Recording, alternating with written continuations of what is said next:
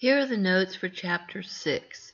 This is the appendicular skeleton, and the word comes from appendages, and that would be your arms and your legs, uh, which they call in this the upper limbs and lower limbs.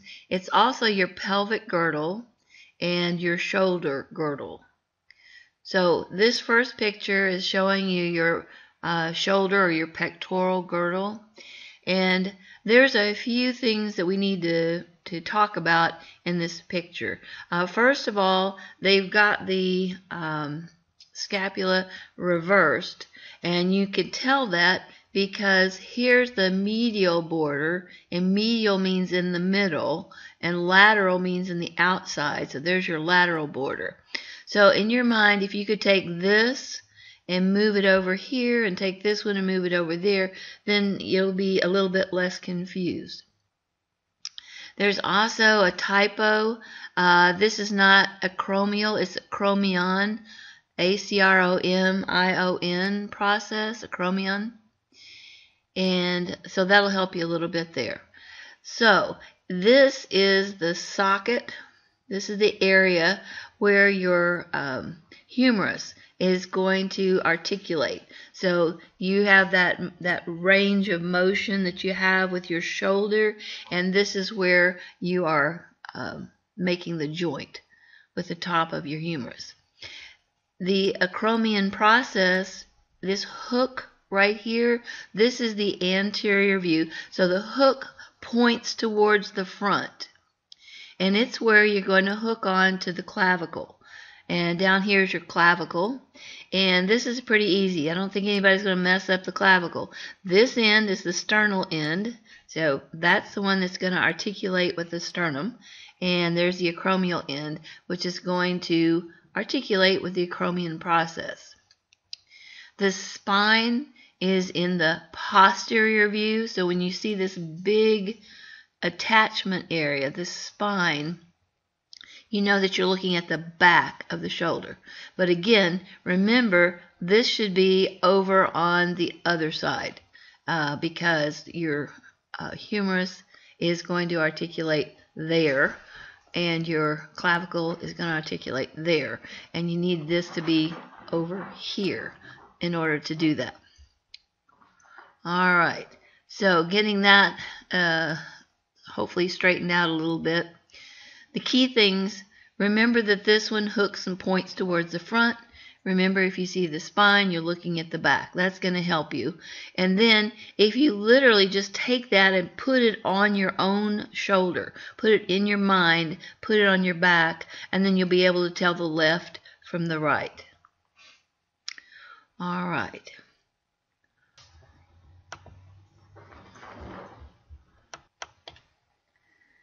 a couple more interesting things. If you look at this particular um, clavicle, you see that it looks like you could hold it right here, and then this looks kind of like a foot. So a lot of people, when they make hammer dulcimers, they play it using a bone. And this is a perfect bone because it has a handle, and then it has a striking area. So the acromial end is the striking area.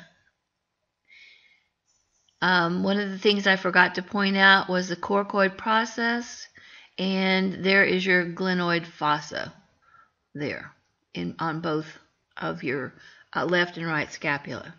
So I think that's all the words you need to know on that one. Just don't get lateral and medial mixed up because the uh, picture is wrong. Lateral is always outside, medial is always in the middle. So this is reversed.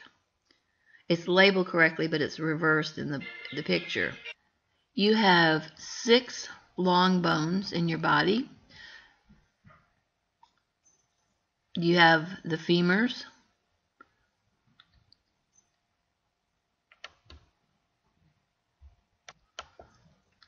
Humeruses, tibias, fibulas, ulnas, and radii. So actually that's 12. You have two of each. Now you got to figure out what's the difference between the long bones. How can you differentiate between them and how can you tell which is the left and which is the right? Well, it's going to be pretty easy because on the femur you have the head and the neck, and that's the thing that fits into the acetabulum or the pocket on your pelvic uh, bone, your pelvic girdle. So obviously that has to be on the interior side or the medial side of your leg because you can't have it fitting into a socket and sticking out the other way. So if you look down here at the bottom, you have a medial condyle and a lateral condyle. So you may be sitting there trying to figure out, well, this one's a little bigger, this one's a little smaller, this one sticks out a little further. But if you just go up there and go, well, there's the head, so obviously that's the medial side because it has to fit into your leg socket or your hip socket. So that's going to be pretty easy. So you need to know about the greater trochanter. Now that one, if you look at it from this side, it just looks like it ought to be um, a tubercle, which would be a potato shaped thing. But when you see it from the posterior view, then you see that it's actually kind of a hooked um, object or projection process on your bone. All right. If you look at the humerus compared to the femur, you can see that this has a neck and this doesn't have a neck. So that should make that one fairly easy for you. And the giveaway for me that I have a hold of uh, humerus is this little thing right here. And that's the hinge part. That's where you're going to fit in the lower bone to make your elbow. So that's your olecranon fossa right there. And there's your lateral epicondyle. Lateral means to the outside of the body. And again, that makes sense because the head is going to fit into your shoulder socket. So it wouldn't make any sense to have this uh, on the outside. So there's your lateral, and then there's your medial. So if you look at the head, you'll always know which is the lateral, which is the medial, because it only makes sense one way. So that's some of the tricks of the trade of figuring out what's going on there. Now you have a lesser trochanter that you can see on the posterior view. Now remember, posterior is towards the back of you. So there's your lesser trochanter.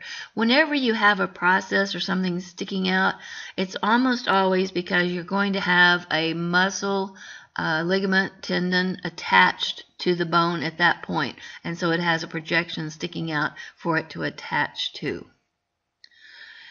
Here is the patellar surface. So again, if you think about this is the head and this is the part that's going to plug into your pelvic bone, then coming straight down, that's where the kneecap would be because it's on the front of your uh, body and, and not the back. So again, that's going to tell you that this is the anterior view or the front because that's where the patella is going to be. So a lot of this is common sense, and but it's kind of overwhelming when you see all of these words that you've never seen before. It's like, oh my goodness. So just just stop and take a deep breath. Okay. Now this has an obvious neck, and this one they call it surgical neck. It's not as it is not as obvious as this neck is over here. Uh, let's see, there's your trochlea, your capitulum, and I remember that is capitulate. It means to give in. I just, I give in. Fine, whatever. I capitulate. So that's your capitulum. It just gives in. Uh, lateral epicondyle, medial epicondyle. Uh, look at that one. This is a condyle over here on your femurs, and it is a an epicondyle on your humerus. So pay attention to that so you don't get those two mixed up. Here are your other long bones. The tibia and fibula are your lower bones. If something is close to your body, we say it's proximal, and if it's distant from your body, we say it's distal. So distant and distal sound kind of alike, so you should be able to do that one. And in close proximity to someone means it's close to you. So your femur is in close proximity to your body, as is your humerus. and these are further away. So these are your distal bones. Each of the leg bones are going to be there's a big one and a small one and in the arm bones there's a bigger one and a smaller one. So in the case of the lower in your leg the tibia is also known as your shin bone and the fibula is kind of easy to remember because it's the tinier leg bone and it's like you're telling a tiny fib. You're just telling a little lie. So the fibula is the little one and the tibia is the big one the tibia doesn't actually have a knob on it. If you look at that, it's more like a, a wedge, I suppose. And behind that is the lateral condyle. So lateral, again, means closer to the outside. Medial condyle, closer to the inside. And there's the tibial tuberosity so remember tuberosity means like potato shape. So there's your tuber right there. And there's your anterior crest, which is known as your shin. And down here is the medial uh, malleolus. And there's your lateral malleolus over on the fibula. So you can tell which of the bones is going to be on the outside and which is going to be on the inside uh, from that. Uh, this also has a head on the fibula up there. And here's the head of the radius.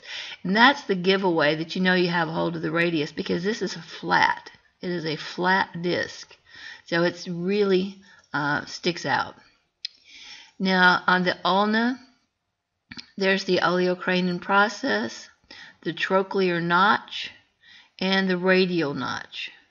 So obviously the radial notch is going to be associated with the radius. Uh, there's a radial tuberosity sticking out there. So obviously that's a point of attachment for something that we'll learn later. Here is your styloid process right there. And let's see. I think that's it. Those are the things that you have to know from your distal limbs, your lower arms, lower legs.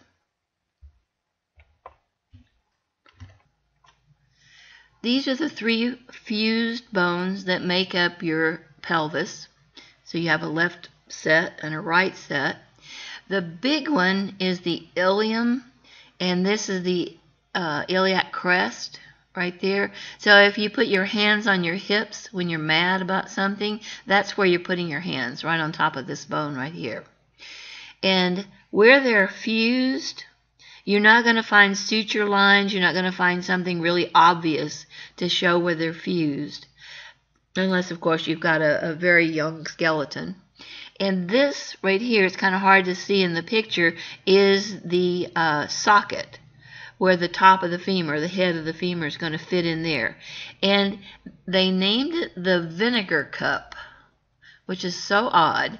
But anyway, I'm not responsible for that. It's the acetabulum. Acetic acid is another name for vinegar. So that's the acetabulum, and it's the socket for the uh, femur to fit in right there. So all of this top part is the ilium, and this lower part is the ischium. And this is in the back. This would be more posterior. And the pubis or the pubic bone is the one in the front. And right here is where the pubic symphysis is where the left and the right half of the hips are joined right there. Now be careful because ilium and ischium both start with I and they're really easy to get confused This is the iliac crest that I was talking about at the top of the ilium. And here you have the posterior superior iliac spine. So again, a spine is a point of attachment right there. Posterior means that's pointing towards your backside. Here is your anterior superior iliac spine and it is of course pointing toward the front and it's superior so you know that there must be an inferior one right under it so inferior means below So anterior superior iliac spine, anterior inferior iliac spine. And same thing with the posterior superior. Here's a greater sciatic notch right here. And then there's the lesser sciatic notch down here. Here's the ischial spine sticking out there, so something's going to be attached there. And there's your ischial tuberosity. Again, potato looking. Anytime you have a hole, remember it's called a foramen. And this is the obturator. It's with a T, not obdurator, obturator, foramen. You know this is the front of the of the bone because there's the pubic symphysis. There's where the, the two halves of your pelvic girdle fit together. So that's where I look first. And I go, okay, there's the front of it. So that's the anterior. And then there's the posterior back here. And then you can work out which is superior and which is inferior. And your sciatic notch and uh, lower, the greater and lower are important because your sciatic nerve is one of the ones that is commonly pinched, especially in older people or people who uh, stand too long, things like that. They, they get sciatica and so they have a, a problem with the sciatic nerve.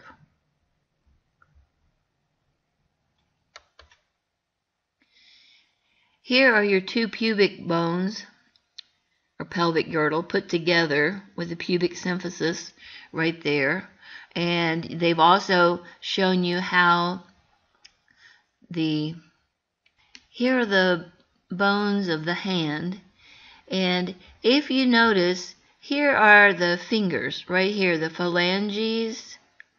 But most people, when they're looking at a skeleton, assume that this is also part of the finger, and it's not. These are the bones that are in the palm of your hand, right in through there.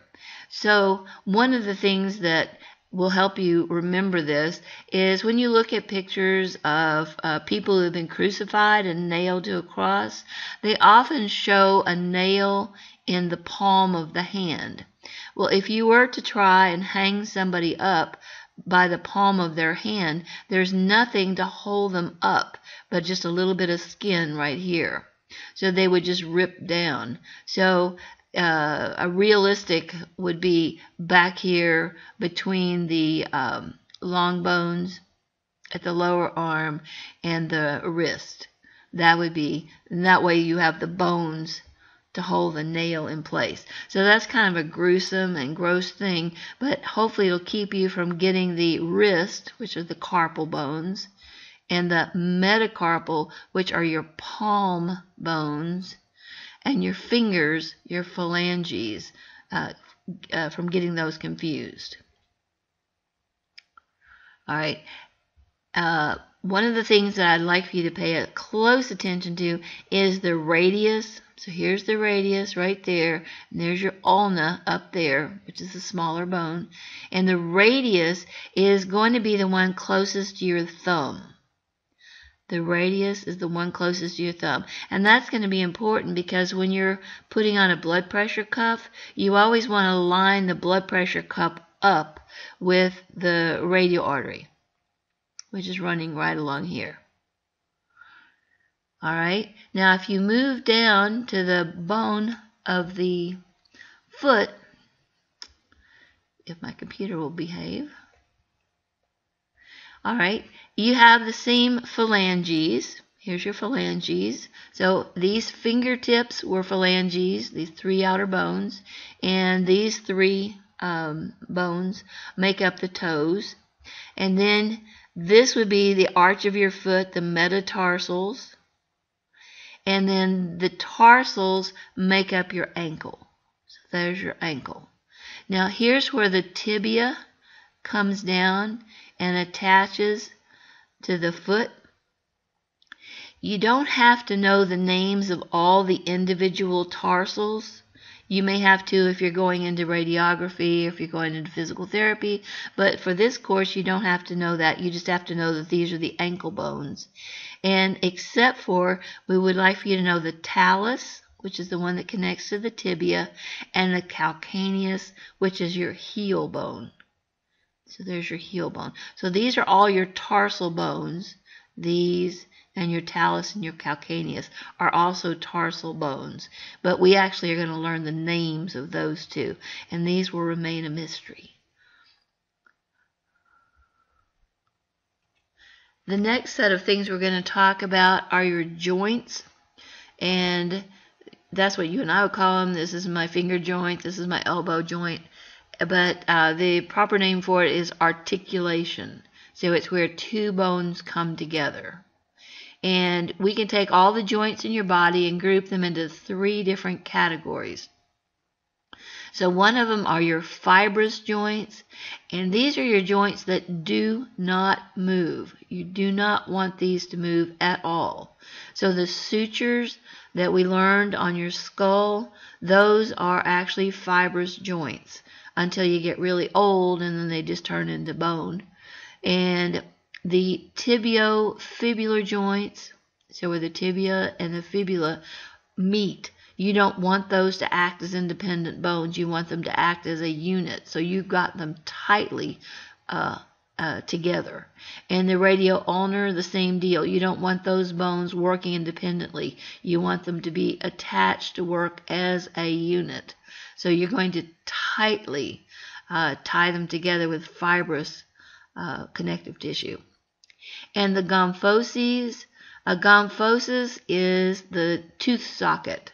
So if you pull your tooth out, that hole that's sitting there inside of your jawbone, that's called a gomphosis. And you definitely don't want that to move because then your teeth would fall out. So you want that to be very, very tight. Then you have the cartilaginous joints, and these you want to have just a little bit of give, not much. And you want them to be really, really strong.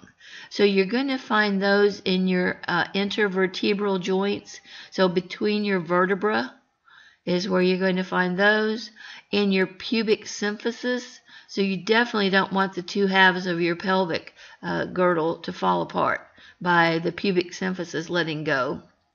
And the joint between the manubrium and the sternum. So your breastbone is the sternum, and remember the top of it is called the manubrium. And uh, used to, your sternum was made up of several bones, but they've all fused together. But you still have a little bit of uh, of uh, cartilaginous uh, material between the manubrium and the sternum. And then your epiphyseal plate. And the epiphyseal plate that we've talked about uh, is very, very important. That's the part of the bone where your long bones are growing. So you have epiphyseal plates on your long bones. And if uh, something happens and you break your bone in or near the epiphyseal plate before you finish growing, so before you're 18 to 21 years old, then whatever bone, wherever it breaks, it will heal the epiphyseal plate, and the cartilaginous joint will no longer be able to um, allow bone growth at that plate. It's also known as a growth plate. The epiphyseal plate is also known as the growth plate. So it's always important if you're younger than 21 years old and you break an arm or a leg that you go and make sure that the break doesn't extend through the epiphyseal plate because then you'll end up with one arm longer than the other or one leg longer than the other one. So those are cartilaginous and they don't give very much, if at all. And then your third group are your synovial joints, and these are the ones that you want to be mobile. You want them to be moving. So we're going to look at the knee, and you're going to need to know the parts of the knee. Here is a cartoon model of a knee joint, and this is your femur coming in here. It's heart-shaped. On the outside of a bone, you're going to have a layer of connective tissue, and on the ends of it, you're going to end up with what we call a synovial membrane, and it's made of hyaline cartilage. It is kind of spongy in that it can hold fluid. And when you start walking or start exercising, as you are using this joint, you're going to push more fluid out into this space. and then if you're just sitting around not doing anything, the fluid will be absorbed back in. So a lot of times, especially you see old people and they have trouble when they stand up because their joints aren't very fluid. They're not very lubricated and it takes a minute for them to walk and get the joints lubricated to where they're walking more normally. Right? You have uh, fluid. There it tells you there's your synovial fluid right there. And then you have uh, meniscus. So this one is your, excuse me, lateral meniscus, and this is your medial meniscus. So that tells you the orientation. Lateral will be towards the outside of your body, medial towards the inside of your body. And this is uh, will this will be more obvious when we look at the at the long bone and the inside of it. But right here is where the bone marrow is. So if you're coming on down, there's a bunch of bone marrow in this particular area. And that's known as the medullary cavity or the bone marrow cavity right there. So this is just the top of it right there. And then there would be one here, but you're not actually seeing it. And this is called the spongy bone or the cancellous bone. And one of the neat things in our laboratory is we actually have bones from uh, a a formerly living person. I mean, they're not plastic. They're actually real bones from a dead person. And because they've had them for so long, they've actually taken and worn away a lot of the hard outer uh, bone out here. And you can actually see the spongy bone inside.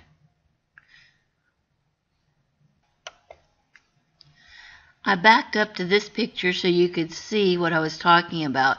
If you look right here, you can see where some of the uh, hard bone, the outer bone, is worn away and you can see the spongy area that's underneath of it. And the spongy bone is called cancellous.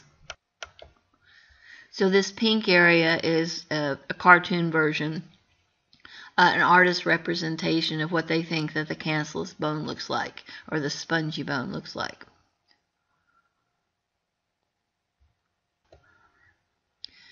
All right, right here is a fibrous capsule. In this particular picture, it's green. They, they've colored it green. And then outside of that is the tibial collateral ligament. There's the tibial collateral ligament. So those are the parts of a synovial joint, and the knee is a typical one. So each of your joints will be a little bit different, but they'll have the synovial fluid, they'll have the hyaline cartilage on the end of the bone, um, they'll have the spongy bone. So those things are, are pretty uh, common from one synovial joint to the other. And you do have to have these long outer ligaments to hold these bones in place. For the shoulder, you only need to know two of the ligaments. You need to know the coracohumeral ligament, which is this one right here, and then you need to know the glenohumeral ligament, which is the one right here. So these are the ones that stabilize your humerus and attach it so that your your arm is attached to your body. So they're rather important.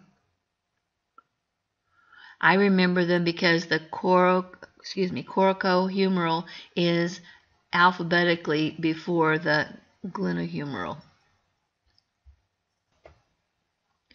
You also have ligaments that are holding your pelvic bone to the top of your femur. And so this is the iliofemoral ligament. So it uses the name of the ilium and the femur as part of its name. So there's the iliofemoral, and it has more than one piece. There is an ischiofemoral ligament, but you can't see it in this particular picture. So number two, the ischiofemoral ligament is not visible in this picture. And then the pubofemoral ligament is the pubic bone attaching to the femur. So these help stabilize the bone and keep it in its socket. This picture should look familiar to you because you had it on another test. This happens to be the ligament that connects the tibia to the femur and it holds the kneecap in place. So it's called the patellar ligament. Some of you thought it was a, a tendon. And a tendon holds a muscle to a bone, but a ligament holds a bone to a bone. And then we have the um, lateral collateral ligament. The lateral collateral. So you know that that's going to be away from the body. And you can guess, well, then this must be the medial collateral ligament. So there you have the medial. And there you have the lateral again and the lateral is going to be on your fibula because your fibula is out and your tibia is more in the medial position. And then inside here we have the medial and the lateral meniscus. So here's the medial right there and there's the lateral meniscus. And to me they look like breast implants. I don't know. Maybe it's just me but they help keep these two bones from rubbing against each other. You definitely don't want bone rubbing against bone. And so that's why you need this uh, meniscus in there. And unfortunately, sports players seem to always tear their meniscus. And if they're not tearing their meniscus, they're tearing their anterior cruciate ligament or their ACL. So right there is the anterior cruciate ligament. So it attaches to the femur and comes back behind the posterior ligament. Right there. Now, why they don't tear their posterior ligament, I don't know. But ACL is the one that always seems to be torn uh, every season when you're watching sports. Another couple of things that you need to pay attention to is this is the posterior ligament. And so this is the posterior view of your knee joint. And this is the uh, front. And you can tell that one because it has the kneecap. And you know your kneecap is in the front. So it's going to be your anterior view. So that should help you a little bit with that. The other thing, look right here. This is where the fibula is very tightly attached to the tibia. So we talked about that when we said we have different kinds of joints. And this one is one kind of like the sutures. I don't want the pieces of my skull coming loose, and I certainly don't want the fibula to let go of the tibia when I'm busy walking. So this is very tightly held together right there. One of the very first things you guys learned on the very first lab was the correct anatomical position to stand in. So if you can see that picture in your mind, a person is standing there and they have their palms forward and they have the backs of their hands behind them. So the back of your hand is dorsal. So if you can see that, and your thumbs are pointing outward. So your thumbs are going to be distal to your body. They're going to be further out. They're going to be uh, more lateral. And if you remember your thumb, if you come up from your thumb, you come up to the radial bone, the radius. And this is important to remember because it's going to be considered lateral. So the only way that you're going to be able to remember which of these is the lateral and which is the medial is to remember if you come down from the radius, you're coming to the thumb. The thumb is going to be further away from the body. So that's going to be your lateral collateral ligament. And then the one over the ulna and the one that's making up your uh, elbow is called your medial collateral ligament. So those are the two you have to remember for your elbow.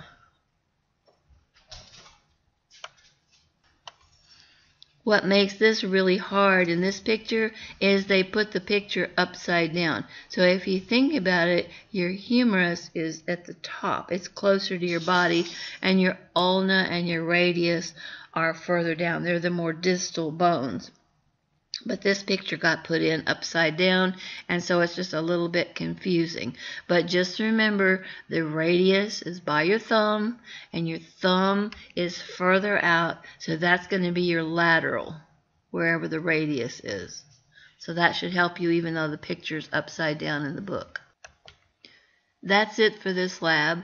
You notice at the end of the lab there's a nice summary of all the things you know need to know about the clavicle, the scapula, the humerus, the radius, the ulna, the carpals, metacarpals, phalanges.